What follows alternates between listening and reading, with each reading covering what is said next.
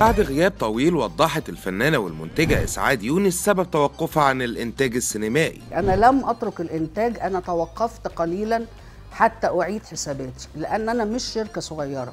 إحنا توقفنا فترة لما السوق اضطرب جدا والقرصنة كانت على أعلى مستوى. ويا ترى شايفة إزاي سوق الإنتاج في الوقت الحالي؟ كنت منتظرة اللحظة اللي إحنا فيها دي يعني حقيقي ده حلم بيتحقق إنه ألاقي منافذ للفيلم متأكدة إنه هيروح فيها أقدر أعمل دراسة جدوى واضحة عشان أقدر أنتج زي ما كنت بنتج 10 و12 فيلم في السنة.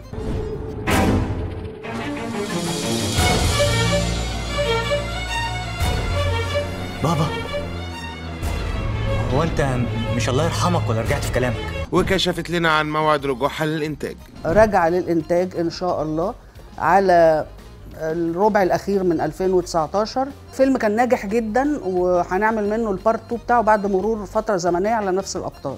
ويا ترى إيه أكتر تجاربها الناجحة؟ الأكثر نجاحا الحمد لله آه، صاحبة السعادة لأنه زي ما تقول ربنا بي بيكافئني على كل اللي فات. أكلة ملهاش زي ولا تاني مفيش في العالم. حقيقي. بيعمل كده أبدا. وسألناها عن رأيها في أفضل أفلام طرحت في السوق الفترة اللي فاتت. لسه في الابس والداونز الممر فيلم بتاع كل الأجيال.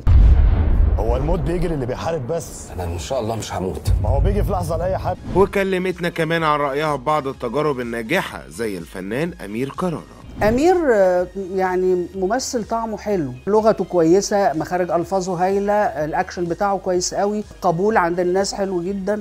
صدري الشباب بره بتموت وتمسخبين تحت السراير مسلم باشا خدوني غصب عني اخرس يلا ما تزودش أبوك وكمان اعتبرت إن الفنان محمد فراج قدر يطور من نفسه بسرعة في السينما. مفرط جدا في التعبيرات والبتاع. لحد من سنتين كده السنة اللي فاتت والسنة دي الحقيقة أنا شايفاه مش استوى.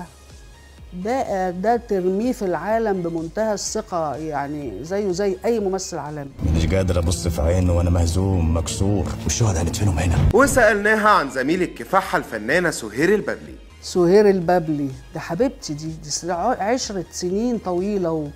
و... وحلو ووحش وغنى وفقر ونجاح وحاجات وكده يعني. حبيبة قلبي سهير.